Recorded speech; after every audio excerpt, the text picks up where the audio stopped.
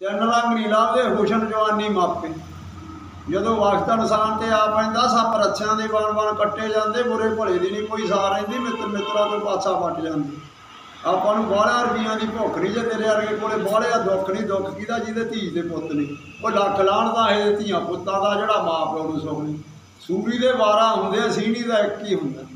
ਬਿੱਲੀ ਨੇ ਸ਼ੀ ਪੜਾਇਆ ਛੀ ਬਿੱਲੀ ਨੂੰ ਖਾਣ ਲੱਗਾ ਸਾਡੀ ਬਿੱਲੀ ਮੈਂ ਕਲਾਸ ਮੈਨੂੰ ਖੇਡ ਚਿੜੀ ਵਾਲਾ ਨਹੀਂ ਓਪਨ ਕਬੱਡੀ ਆ ਕੱਲੇ ਨੂੰ ਕੱਲਾ ਭਗਤ ਵਾਲੇ ਪੜਦੰਬਣਾ ਨੂੰ ਮੇਰਾ ਨਾਂ ਭਗਤ ਚ ਵੀ ਰੋਸ਼ਨ ਮੁੜ ਕੇ ਕੋਈ ਜੰਮਿਆ ਨਹੀਂ।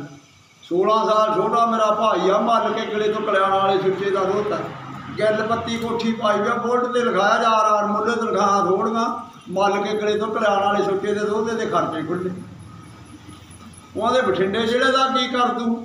ਉਹਦਾ ਨਾਲੇ ਰੇਡਰ ਨਾਲੇ ਜਾਫੀ ਪੁੱਤ ਬਰਾੜਾ ਦਾ ਜਿਹਦਾ ਪਿੰਡ ਸੀ ਵਾਜਾ ਖਾਨਾ ਉਹ ਜਾਂਦਾ ਨੁਗਰਾ ਘੋੜਾ ਲਹਿਰੇ ਵਾਲਾ ਮਾਰ ਕੇ ਪੱਟਾ ਤੇ ਸਾਪੀ ਫਿਰ ਆਏ ਫੁਰਕੜੇ ਚ ਪੱਤਾ ਪਾਇਆ।